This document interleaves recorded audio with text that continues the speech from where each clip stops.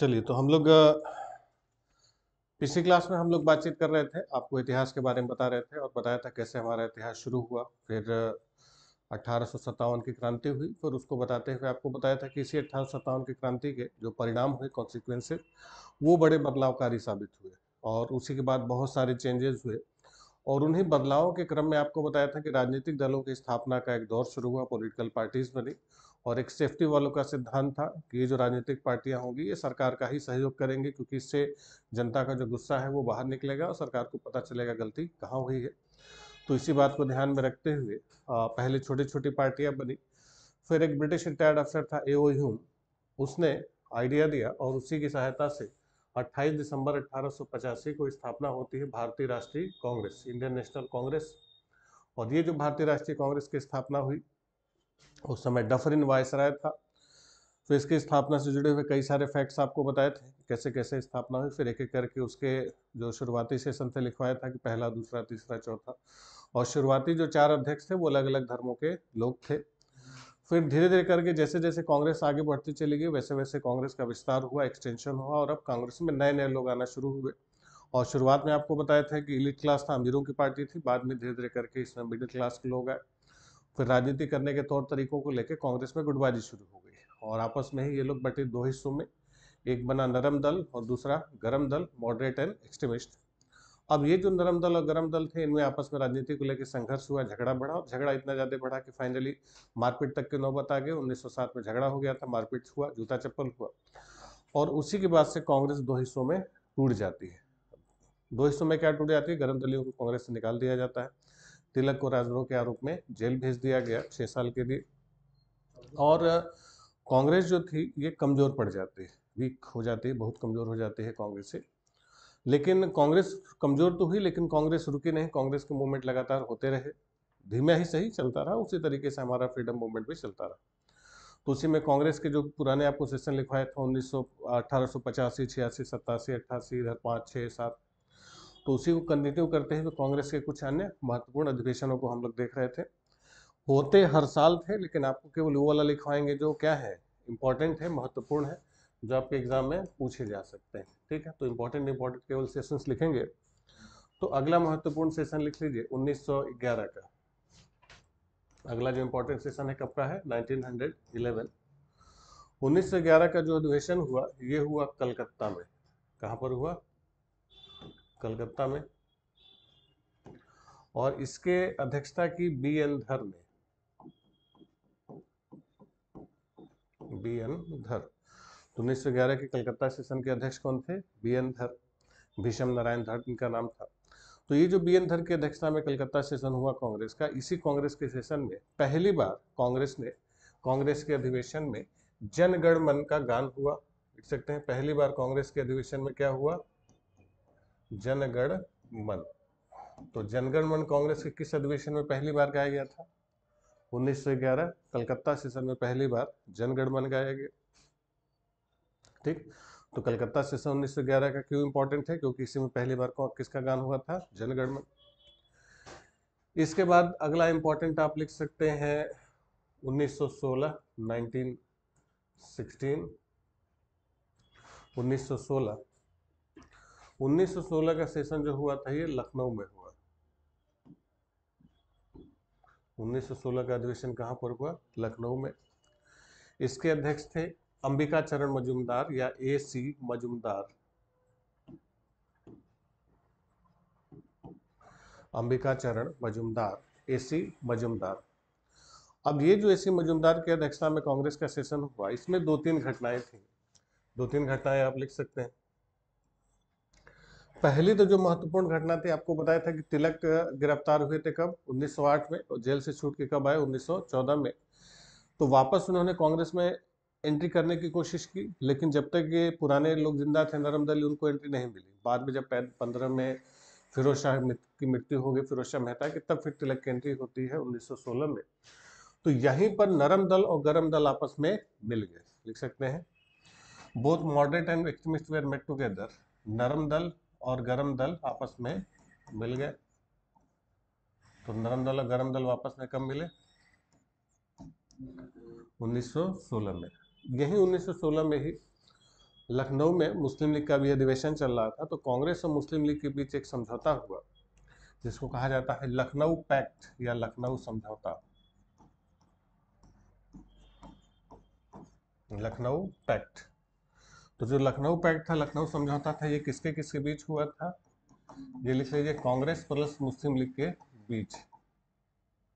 Congress plus Muslim league. तो कांग्रेस और मुस्लिम league के बीच कौन सा समझौता हुआ था? लखनऊ पैक्ट या लखनऊ समझौता? ठीक है? लखनऊ पैक्ट यानी लखनऊ समझौता। किसके किसके बीच? कांग्रेस और मुस्लिम लीग के बीच। ठीक?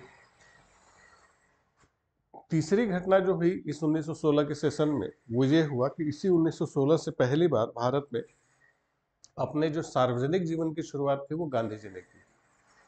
तो गांधी जी के भारत में सार्वजनिक जीवन की शुरुआत हुई public career of Gandhi ji started in India Gandhi ji की भारत में सार्वजनिक जीवन की शुरुआत हुई।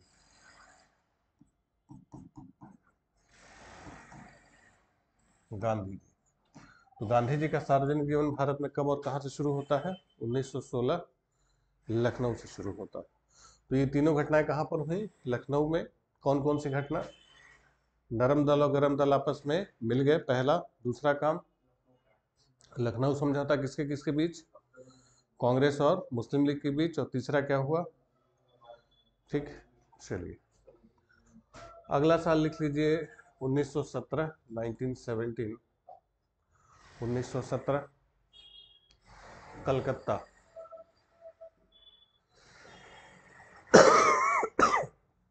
उन्नीस सौ सत्रह कहाँ पर हुआ?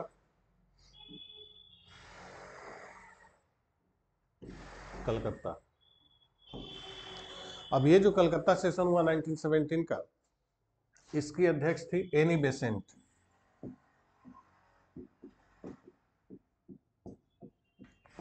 Annie Besant. तो एनी बेसेंट ने किस सेशन की अध्यक्षता की? 1917 कलकत्ता। अब ये जो एनी बेसेंट ने कांग्रेस की अध्यक्षता की तो कांग्रेस की पहली महिला अध्यक्ष थी। First female president of Congress या first women president of Congress तो कांग्रेस की पहली महिला अध्यक्षा कौन थी? एनी बेसेंट तो एनी बेसेंट वो पहली महिला थी जिन्होंने किसकी अध्यक्षता की? कांग्रेस की अध्यक्षता की।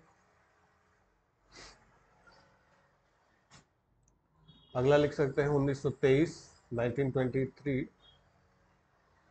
1923 दिल्ली का। ये स्पेशल सेशन था दिल्ली का। दिल्ली। ब्रैकेट में लिखिए विशेष। स्पेशल सेशन था।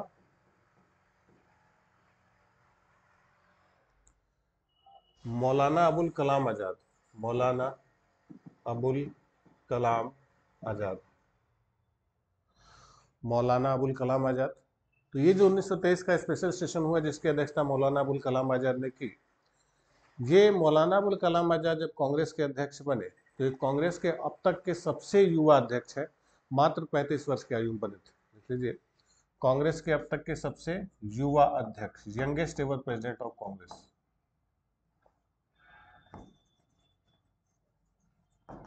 अब तक के सबसे युवा अध्यक्ष, मात्र 35 वर्ष की आयु में।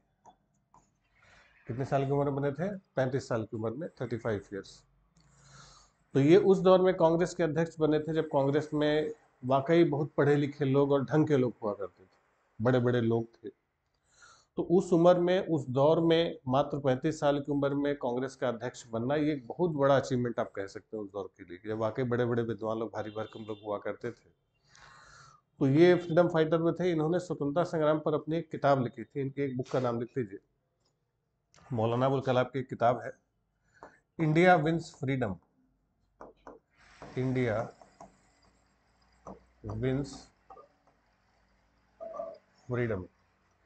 तो इंडिया विंस फ्रीडम किसकी किताब है? मौलाना अबुल कलाम आज़ाद की किताब। India wins freedom. Maulana Abul Kalam आज़ाद ने एक किताब भी लिखी थी। अरे, इनकी एक मैगजीन चलती थी सॉरी इनका न्यूज़पेपर था अल हिलाल अल हिलाल तो अल हिलाल नाम की पत्रिका किसने चलाई थी? मौलाना अबुल कलाम आज़ाद अल हिलाल तो अल हिलाल इनकी जो मैगजीन चलती थी तो अल हिलाल नाम की मैगजीन किसने चलाई थी? मौलाना अबुल कलाम आज़ाद। और इनकी बुक कौन सी थी? India wins freedom. तो ये फ्रीडम फाइटर थे। और भारत जब स्वतंत्र हुआ तो स्वतंत्र भारत में पहले शिक्षा मंत्री बने थे, फ़र्स्ट एजुकेशन मिनिस्टर बने थे।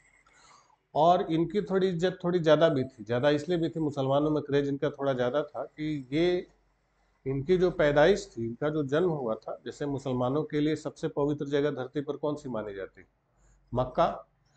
क्योंकि मक्का में ही मोहम्मद साहब का जन्म हुआ था तो जो मौलाना अबुल कलाम आज़ाद थे, ये भी मक्का में पैदा हुए थे। तो इसलिए भी इनका वैल्यू थोड़ा सा ज़्यादा देते थे। ठीक? ये सोचिए के बी में पचास लाख में सवाल पूछा गया था कि कांग्रेस का अब तक का सबसे युवा अध्यक्ष कौन था?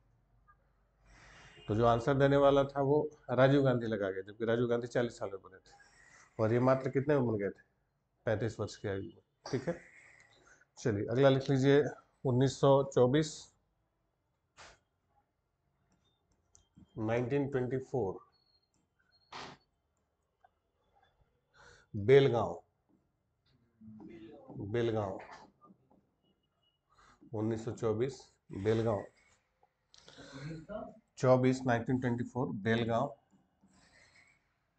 तो बेलगांव की अध्यक्षता की Mahatma Gandhi. Mahatma Gandhi.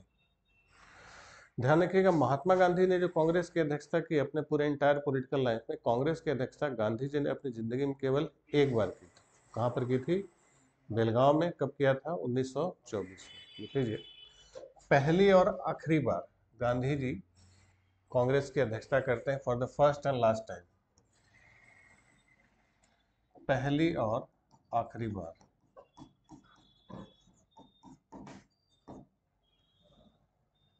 For the first and last time तो पहली और आखिरी बार कांग्रेस की अध्यक्षता किसने की थी? गांधी जी ने कब किया था? 1924 कहाँ पर किया था? बेलगांव। बेलगांव इसलिए कर्नाटका में है। और यहीं से, बेलगांव से ही गांधी जी का जो आप ट्रांसफॉर्मेशन देखते हैं। इससे पहले गांधी जी भी कुर्ता पजामा, धोती कुर्ता, टोपी वगैरह कोट वोट पहनते थे। लेकिन जब बेलगांव पहुँचे तो यहाँ देखिए भूखी नगी जनता जिसके पास खाने के लिए भोजन नहीं था, पहनने के लिए कपड़ा नहीं था तो उनको देख के इन्हें लगा कि हमें भी वैसा करना चाहिए।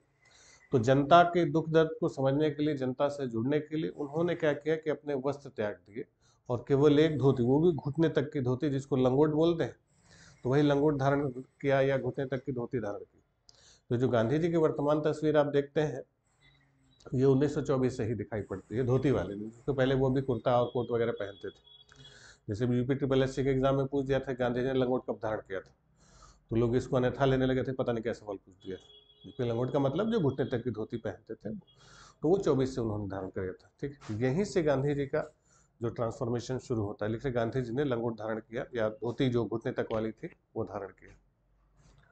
तो ये जो फ़ोटो पर, नोटों पर जो गांधी जी की तस्वीर आप देखते हैं, ये कब से दिखाई देते हैं? 1924 से ठीक है? चलिए, अगला सेशन हम लोग देखते हैं। अगला सेशन आता है 1925 का 1925 1925 का सेशन हुआ कानपुर में। 1925 का सेशन कानपुर। और इस कानपुर में अध्यक्ष बने Sarojini Naidu.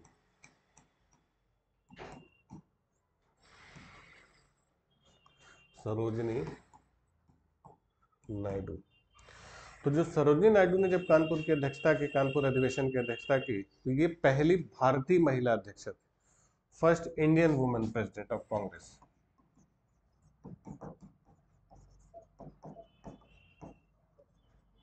First Indian women, पहली भारतीय महिला। तो पहली भारतीय महिला अध्यक्षा कौन थी? सरोजनी नायडू। पहली महिला अध्यक्षा कौन थी? एनी बेसेंट ध्यान रखिएगा। पहली महिला अध्यक्ष अगर पूछा जाए केवल तो एनी बेसेंट थी, ठीक है? और वही अगर कहा जाए कि पहली भारतीय महिला कौन थी तो सरोजनी नायडू, ठीक है? चलिए, इसके बाद अगला लिख लीजिए। उन्नीस सौ अट्ठाईस, नाइनटीन ट्वेंटी एट। उन्नीस सौ अट्ठाईस, कलकत्ता। 1928 कलकत्ता। मोतीलाल नेहरू।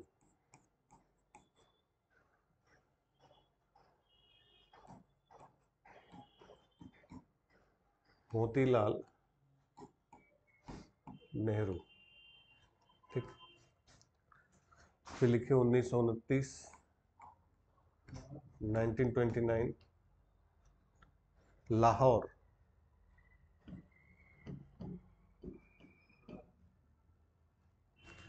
जवाहरलाल नेहरू।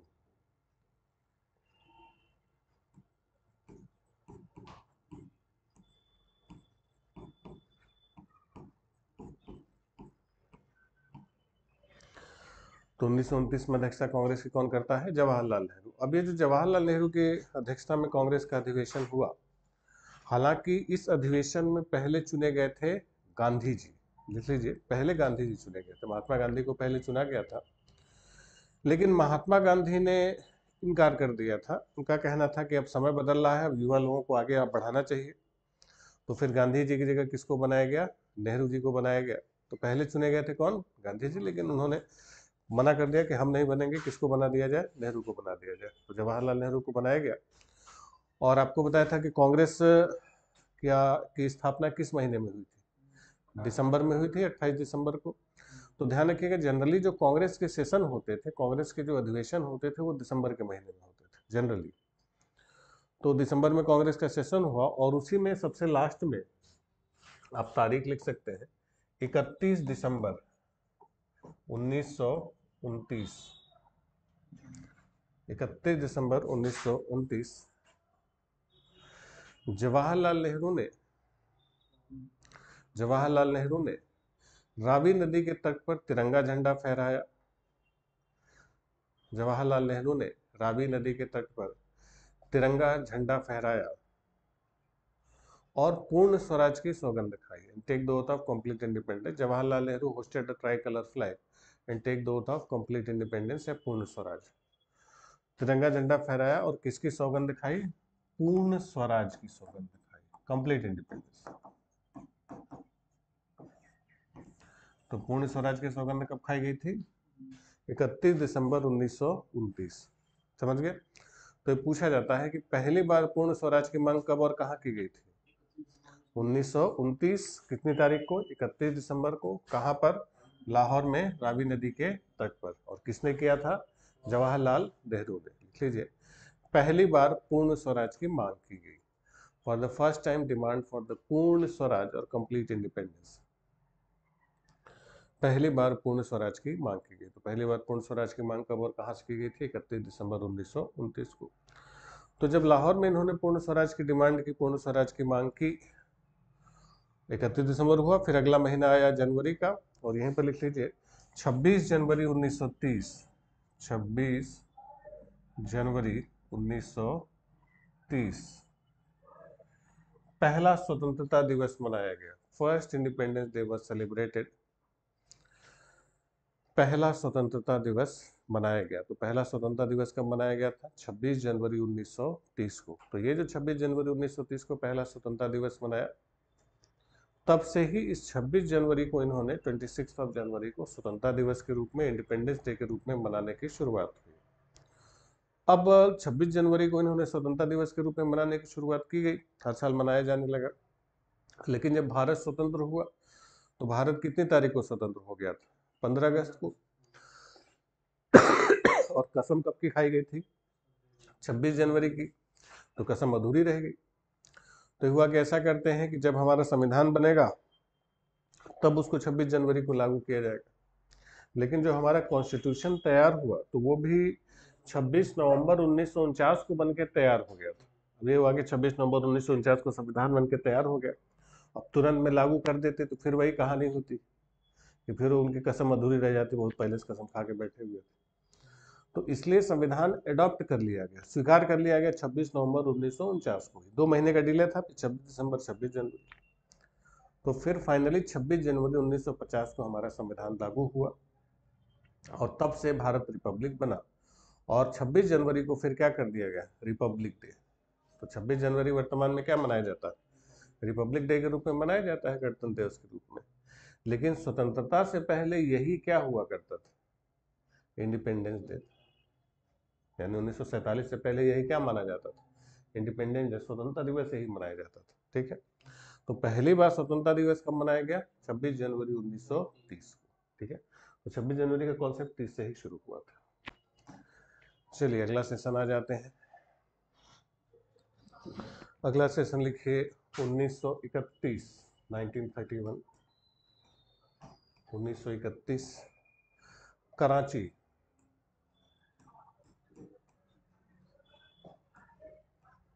कराची। सरदार पटेल।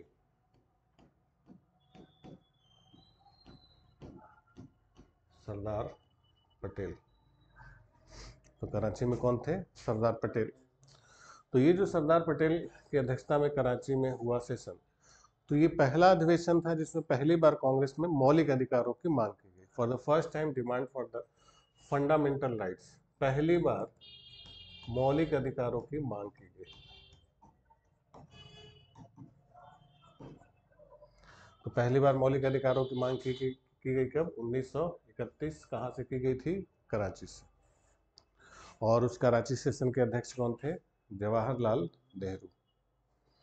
ठीक है तो पहली बार किसकी मांग की गई? मौलिक अधिकारों की फंडामेंटल राइट्स की। इसके बाद अगला लिख लीजिए 1932 1932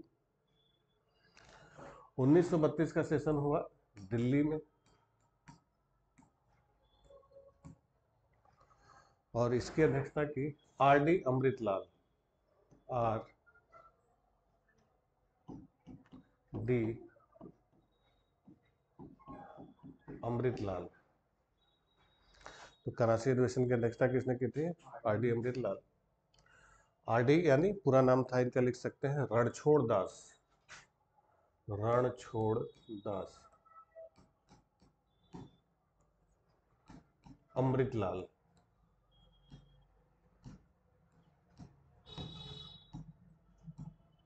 रणछोड़ दास अमृतलाल ये रणछोड़ किसका पर्यायवाची? रणछोड़ किसको कहा गया?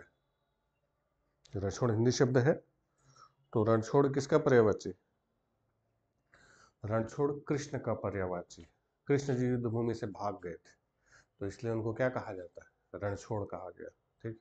तो कृष्ण का पर्यावाची क्या है? रणछोड़। तो अगर किसी को कहा गया रणछोड़ रणछोड़ के भाग गए तो उसको गाली नहीं समझना बेजती नहीं समझना। कृष्ण को कहा गया था रणछोड़, ठीक है? तो ये जो रणछोड़ दास थे, ये कांग्रेस के पहले अनुसूचित जाति के अध्यक्ष थे। First schedule caste president of Congress. Congress के पहले अनुसूचित जाति के अध्यक्ष। तो फ़र्स्ट शेड्यूल कास्ट प्रेसिडेंट कौन थे? पहले अनुसूचित जाति के अध्यक्ष कौन थे? R D Amritlal. Ranchhod Das Amritlal. ठीक है? पहले अनुसूचित जाति के अध्यक्ष थे।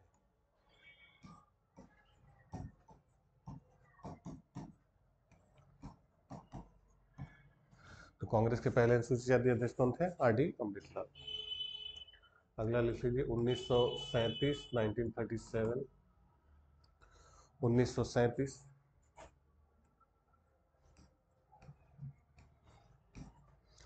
Faizpur 1937 Faizpur F A I Z Faizpur. Faizpur. ठीक? जवाहरलाल नेहरू। जवाहरलाल नेहरू। ठीक? जवाहरलाल नेहरू। इससे पहले जितने भी कांग्रेस के सेशन आप देखेंगे तो वो किसी न किसी शहर या किसी न किसी कस्बे में हुए थे। ठीक? अब देखिए, सब किसी न किसी शहर में है। ये पहला कांग्रेस का सेशन था जो किसी गाँव में हुआ। तो कांग्रेस का पहला अधिवेशन जो किसी गाँव में हुआ था, वो कहाँ पर था? वो कौन सा था? फैजपुर था। कांग्रेस का पहला अधिवेशन जो गाँव में हुआ। First session of Congress, which held in a village Congress का पहला अधिवेशन जो गाँव में हुआ। तो गाँव में होने वाला पहला अधिवेशन कौन सा था? फैजपुर। इसके पहले के जितने भी थे सब किसी न किसी किसमें हुए थे? शहर में हुए थे, कस्बे में हुए थे। तो यहाँ से कांग्रेस का जो समाजवादी झुकाव एक्चुअली होने लगा था कि अब समाज के सब वर्गों को लेना था। तो इसमें इन्होंने अब कहाँ करना शुरू किया? गाँव में करना शुरू कर दिया। ठीक? चलिए, अगला लिख लीजिए 1938 1938 हरिपुर हरिपुर। नेताजी सुभाष चंद्र बोस। नेताजी सुभाष चंद्र बोस।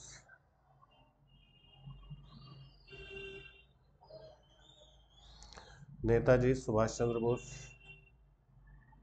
ठीक, देखिए सुभाष चंद्र बोस पहली बार कांग्रेस के अध्यक्ष बने।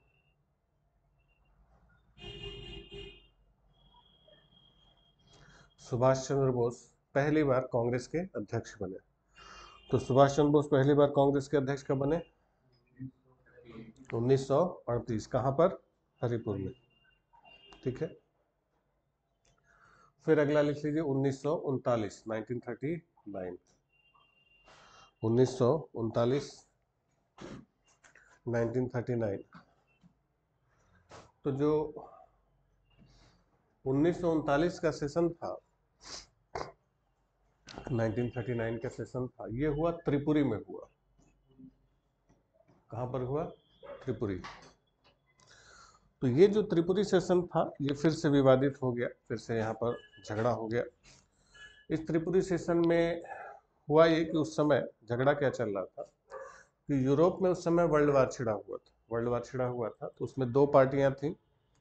एक तरफ़ था फ्रांस, ब्रिटेन, पोलैंड इनकी लड़ाई चल रही थी जर्मनी, इटली, जापान से।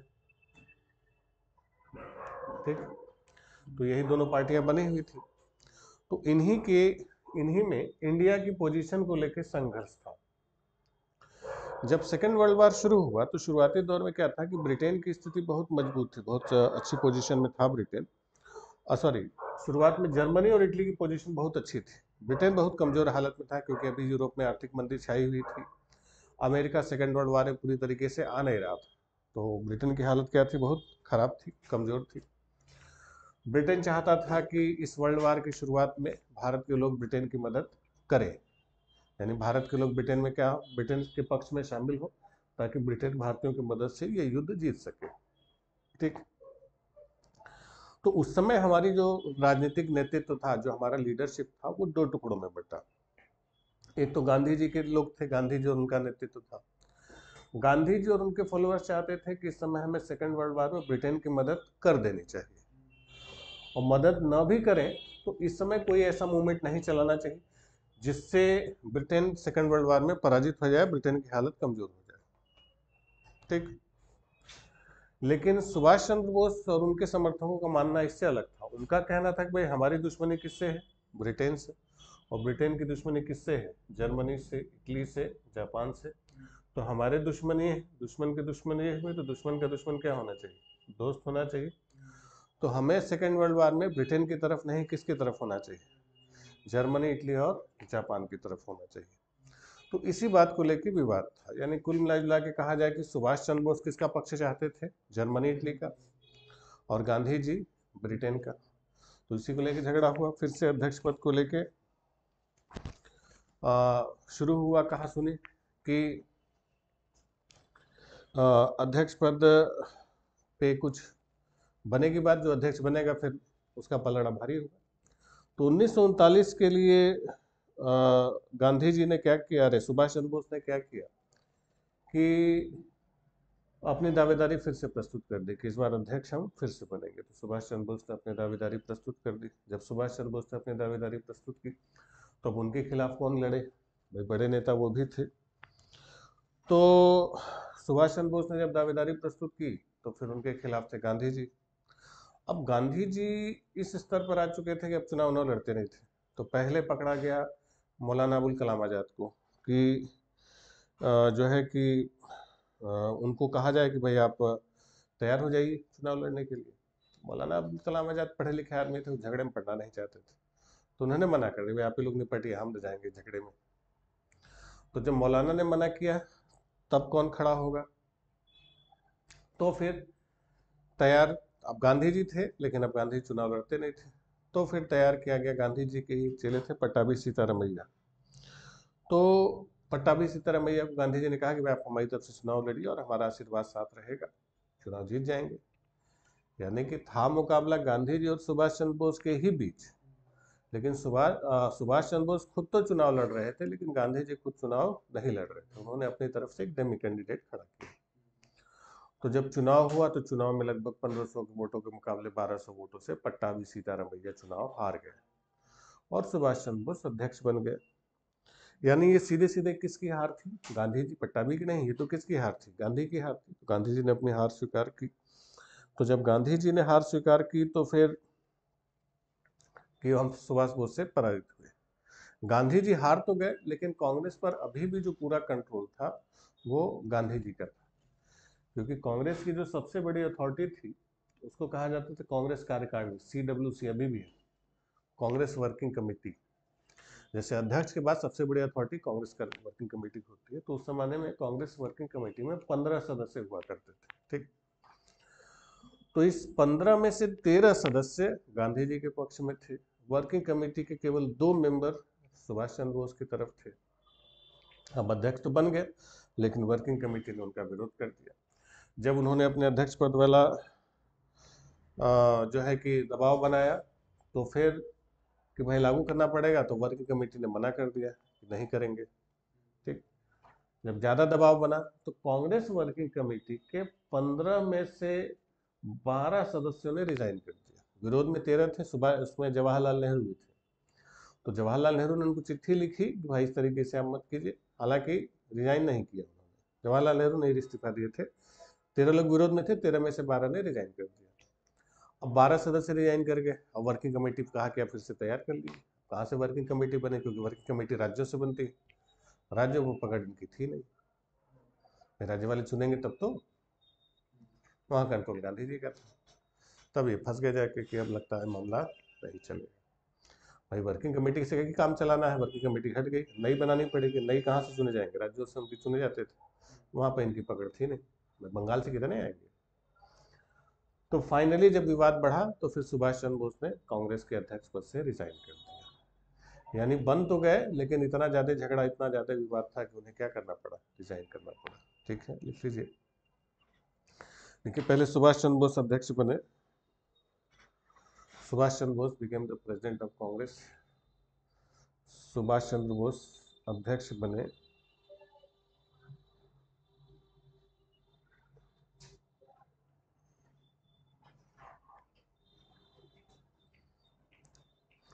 सुभाष चंद्र बोस अध्यक्ष बने। उन्होंने किसको पराजित किया? उन्होंने गांधी जी के प्रतिनिधि पट्टाभी सीतारामैया को पराजित किया। गांधी जी के प्रतिनिधि रिप्रेजेंटेटिव ऑफ़ गांधी जी पट्टाभी सीतारामैया को पराजित कर लिया। पट्टा पट्टाभी सीतारामैया को पराजित किया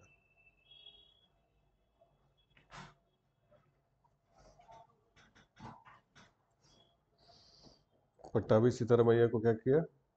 पराजित किया। ठीक। लेकिन कार्यकारिणी के विरोध के कारण but due to conflict with working committee कार्यकारिणी कांग्रेस कार्यकारिणी लिखी लेकिन कांग्रेस कार्यकारिणी के विरोध के कारण, लेकिन कांग्रेस कार्यकारिणी के विरोध के कारण, उन्होंने क्या किया? इस्तीफा दे दिया he resigned but due to conflict with working committee he resigned लेकिन कार्यकारिणी के विरोध के कारण उन्होंने क्या किया? इस्तीफा दे दिया। ठीक? यानी कांग्रेस वर्किंग कमेटी ने उनका क्या किया? विरोध किया तो उनको क्या करना पड़ा? रिजाइन करना पड़ा। अब यहाँ भी एक फैक्ट आता है कि जब सुभाष चंद्र बोस ने कांग्रेस के अध्यक्ष पद से रिजाइन किया तो फिर बाकी समय के लिए अध्यक्ष किसको बनाया गया? तो बाकी समय के लिए डॉक्टर राजेंद्र प्रसाद अध्यक्ष बने लिख लीजिए। उनके त्याग पत्र के बाद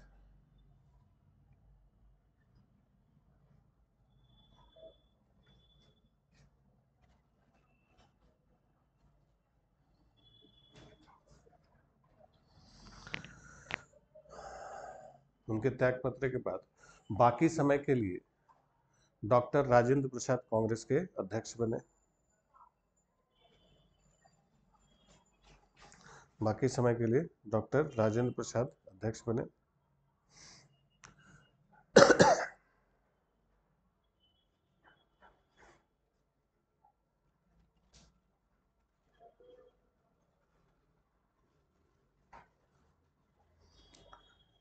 बाकी समय के लिए कौन बने?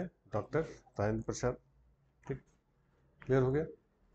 अब जब ये अध्यक्ष बने तो अध्यक्ष बनने के बाद उन्होंने क्या किया कि एक पार्टी बना ली, फॉरवर्ड ब्लॉक लिखे 1939 उन्नीस सुभाष चंद्र बोस ने 1939 सुभाष चंद्र बोस ने फॉरवर्ड ब्लॉक नामक पार्टी की स्थापना की। सुभाष चंद्र बोस ने फॉरवर्ड ब्लॉक नामक पार्टी की स्थापना की। अब फॉरवर्ड ब्लॉक नामक पार्टी की स्थापना की। तो फॉरवर्ड ब्लॉक पार्टी किसने बनाई थी? सुभाष चंद्र बोस ने। कब बनाए थे? उन्नीस में। तो जब इन्होंने फॉरवर्ड ब्लॉक नामक पार्टी बनाई तो फिर इसी वजह से डॉक्टर राजेंद्र प्रसाद जो समय अध्यक्ष बने थे, उन्होंने इनको कांग्रेस से हमेशा के लिए क्या किया? निकाल दिया। लिख लीजिए इसी कारण that's why he was permanently suspended from the Congress इसी कारण उन्हें कांग्रेस से हमेशा के लिए निष्कासित कर दिया गया। हमें उन्हें कांग्रेस से स्थायी रूप से निलंबित कर दिया गया। तो कांग्रेस से कब इनको हटाया गया?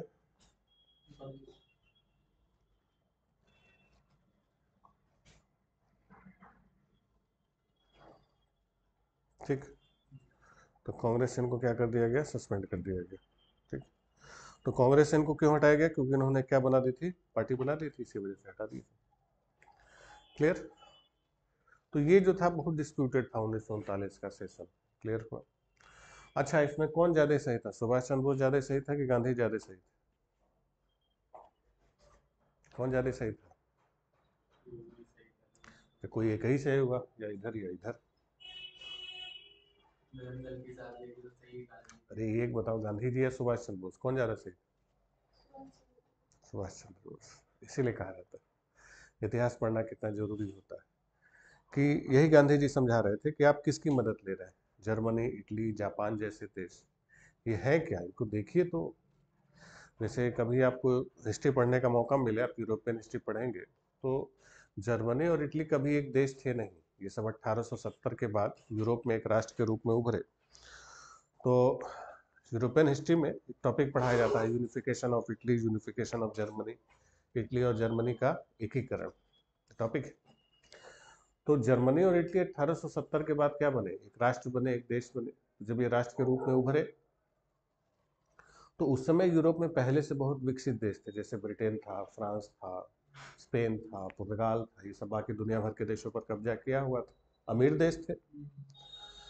तो ये भी जब एक बने तो इनके अंदर भी कंपटीशन आया, राष्ट्रवाद आया कि हम भी बाकियों से मुकाबला करेंगे, हम भी बाकियों से आगे जाएँगे, संघर्ष करेंगे, ये उग्र राष्ट्रवाद उभरा, राष्ट्रवाद कंपटीशन बढ़ा।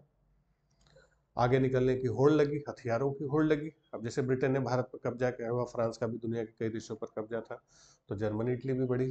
चलो, हम लोग भी कब्जा करते हैं। तो जो काम अब उस समय ज़्यादातर देशों पर तो कब्जा हो चुका था, अफ्रीका बचा हुआ था। तो जो काम ब्रिटेन ने भारत में ढाई सौ सालों में किया, ईस्ट इंडिया कंपनी की स्थापना सन सोलह में हुई थी। 1608 में ये लोग भारत आए थे और 16 से 11 से ये लोग व्यापार करना शुरू करते हैं। और प्लासी की लड़ाई कब हुई थी? सत्रह सौ सत्तावन यानी कंपनी के भारत आने के डेढ़ सौ साल बाद तो बंगाल जीते ये। फिर उसके सौ साल बाद अट्ठारह की, सत्तावन की क्रांति हुई। तब जाके ब्रिटिश सरकार का कब्जा पूरा कहाँ पर हुआ? भारत पर। यानी ब्रिटेन सरकार को भारत पर कब्जा कब्जा करने में ढाई सौ साल लग। तो जो काम ब्रिटेन ने भारत में ढाई सौ सालों में किया, वो जर्मनी, इटली ने अफ्रीकी देशों में साल साल, दो दो साल में करके रख दिया। सीधे सेना भेजी जाती थी, मारकाट, कुंथरावा, सीधा कब्जा। कि जो जर्मन अफ्रीका, अफसर अफ्रीका में काम करते थे, उनका जब प्रमोशन ड्यू होता था, जब उनका प्रमोशन होना होता था तो प्रमोशन के दिन केवल ये देखा जाता था कि जिस जर्मन अफसर ने अपने टेंट के सामने इंसानों का सर काट काट के नरमुंड इकट्ठा किया इंसानों की खोपड़ियों का टीला बनाया तो जिसका टीला ज़्यादा ऊँचा होगा मतलब ज़्यादा मेहनत जो केवल दो चार सौ मुंडी काट के रखा है मतलब बेकार है, कुछ काम नहीं किया। सोचिए, सेकेंड वर्ल्ड वार के समय हिटलर को यहूदियों से नफरत हो गई थी। इस बात पर पूरे साठ लाख यहूदियों की ज़िंदा चुन चुन के मारा गया था। आधी आबादी यहूदियों खत्म हो गई थी। एक करोड़, लगभग जो है कि चालीस लाख, एक करोड़, साठ लाख के आसपास थे, जिसमें आधे खत्म कर दिए गए। तो साठ लाख लोगों की हत्या करना आप समझते हैं?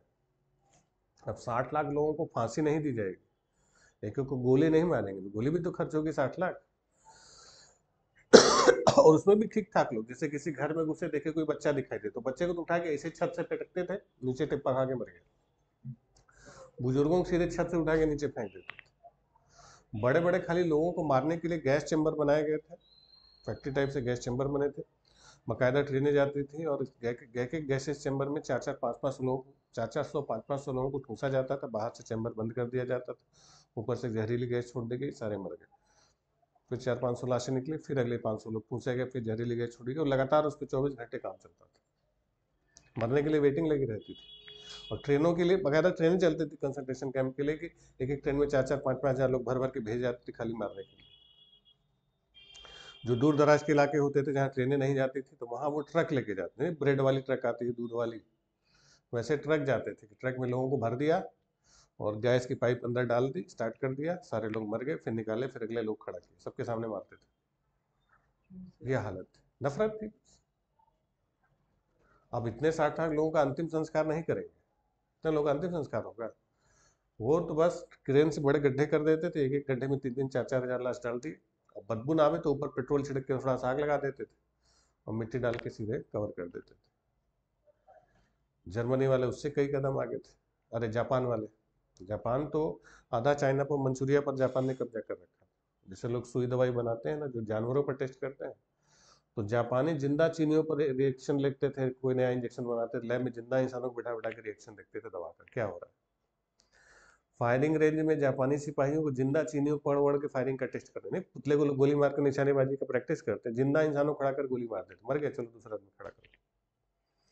कोई नया बम बनाया दस तो चीनियों को बैठा के बम मार के देख रहे कितना मरा, कितना बचा। ज़िंदा लोगों पर टेस्ट करते थे। कई जगहों पर जब जापानी हमला करने गए थे तो जब उनको भोजन नहीं मिलता था जापानी सिपाहियों को तो वो इंसानों को मार मार के उनके मांस को सोया सूप में पका के खाते थे। जापानी सोया सूप बहुत खाते हैं। सोया सूप में इंसानी मांस पका पका के खा जाते थे। अब सोचिए जापानी कितने अच्छे थे। वो कहते हैं कि चलिए सुभाष चंद्र बोस जी, हम आपकी मदद करते हैं। फिर भारत को आज़ाद करा देंगे। फिर आप भारत के राष्ट्रपति बन जाइएगा। हम चले आएँगे जापान। या हिटलर भारत इसलिए आता कि मदद इसलिए करता कि भारत की जनता अंग्रेज़ों की गुलामी से दबी हुई है। फिर भारत की जनता को अंग्रेज़ों की गुलामी से हिटलर आज़ाद करा देता, फिर भारत आज़ाद हो जाता, फिर हिटलर कहता कि अब ठीक है, सुभाष चंद्र बोस जी, आप इंडिया के प्रधानमंत्री बन जाइए, हम चलते हैं जर्मनी। वो हमारे लिए आता कि अपने लिए आते? वो आते तो क्या चले जाते? जो दुर्गति करते कि आज बोलने लायक नहीं बचते। जहाँ जहाँ उनका कब्जा था, अफ्रीकी देशों की हालत आज भी खराब। हमारे लिए दोनों गलत है। अंग्रेज़ों को कम से कम ये दुर्गति नहीं थी। बातचीत होता था, समझौता होता था। तो हमारे लिए दोनों गलत है, लेकिन दोनों में से किसी एक को चुनना होगा। तो देखना पड़ेगा कौन ज़्यादा गलत है, कौन कम गलत है। इसीलिए बताए कि इतिहास पढ़ना क्या होता है? ज़रूरी होता है। जब आप इतिहास पढ़ते हैं तो आप फैसला लेने में सक्षम होते हैं कि क्या सही है, क्या गलत है। पहले दिन इतिहास के चैप्टर में आपको बताया था कि जो हुआ है, वही होगा। इतिहास बताया था कैसे घूमता है। तो वही कि इतिहास जब आप पढ़ते हैं तब आप डिसीज़न ले पाएँगे क्या सही है क्या गलत। वो अपने मन से किसी ने कह दिया कि फलाना नेता सही था किसी ने कह दिया ढिमका नेता सही था वो अपने हिसाब से कहते पढ़ते थोड़ी कभी इतिहास पढ़ी फिर आप सही गलत का निर्णय खुद ले लेंगे। ठीक है? चलिए अगला साल लिखते हैं। अगला साल आ जाइए उन्नीस सौ चालीस नाइनटीन फोर्टी। उन्नीस सौ चालीस। रामगढ़। 1940 रामगढ़।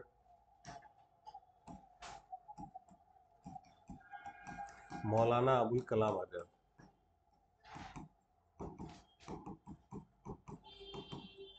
मौलाना अबुल कलाम आज़ाद। अभी जो रामगढ़ सेशन हुआ मौलाना अबुल कलाम आज़ाद के नेतृत्व में तो इस रामगढ़ अधिवेशन में मौलाना अबुल कलाम आज़ाद बने। तो मौलाना अबुल कलाम आज़ाद जब भी कांग्रेस के अध्यक्ष बनते थे कोई ना कोई रिकॉर्ड ज़रूर बनाते थे। पहली बार बने तो क्या रिकॉर्ड था? सबसे युवा। यंगेस्ट। इस बार बने तो हुआ क्या कि 40 के बाद अभी आपको जो फ्रीडम मूवमेंट बताएँगे तो हमारा स्वतंत्रता संग्राम बहुत तेज चला। कि 40 के बाद सीधे छियालीस में हुआ। 40 से 45 तक कोई सेशन हुआ ही नहीं। तो स्वतंत्रता से पूर्व सबसे लंबे समय तक कांग्रेस के अध्यक्ष यही बने रहे। लीजिए स्वतंत्रता से पूर्व बिफोर इंडिपेंडेंस सबसे लंबे समय तक कांग्रेस के अध्यक्ष रहे। Before independence longest time president of Congress.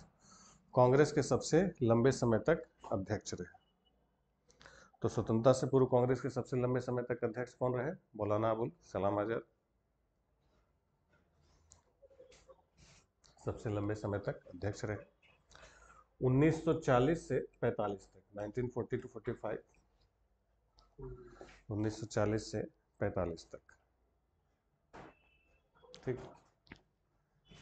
चलिए, फिर अगला लिख लीजिए। 1946 1946 1946 Meerut. Meerut J B Kripalani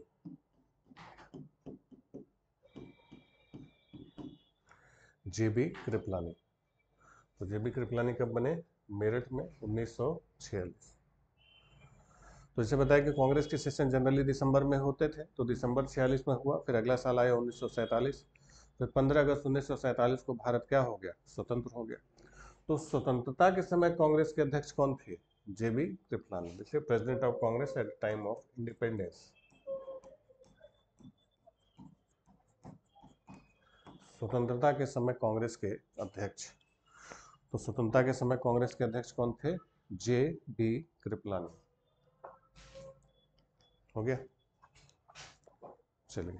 अब कुछ एक साल बोल रहे हैं, कुछ एक साल लिखिए। लिखिए 1930 1930 1935 1935 फिर 1941 से लेके 45 तक। 41 टू 45 इन वर्षों को घेर के लिख लीजिए, कोई अधिवेशन नहीं, नो सेशंस कोई अधिवेशन नहीं। जैसे बताया था कि जब कांग्रेस की स्थापना हुई तो स्थापना के बाद से कांग्रेस के अधिवेशन लगातार होते रहे, लेकिन कुछ एक साल ऐसे भी थे जब कांग्रेस के अधिवेशन नहीं हुए। तो पहली बार ऐसा कब हुआ कि जब कांग्रेस का कोई अधिवेशन नहीं हुआ? 1930 दोबारा 1935 फिर 41 से लेके 45 तक, ठीक? तो इन सब वर्षों में कोई भी अधिवेशन नहीं हुआ, ठीक है? चलिए तो ये तो थे कांग्रेस के अधिवेशन। कांग्रेस के कुछ महत्वपूर्ण अधिवेशन जो आपके एग्ज़ाम में पूछे जाते हैं। अब इसके बाद वापस हम लोग वही पास तक लौटेंगे और हमारे फ्रीडम मूवमेंट को आगे लेके चलेंगे। तो अभी के लिए इतना ही। बने रहिए हमारे साथ। मिलते हैं अगले क्लास में फ्रीडम मूवमेंट के साथ। Thank you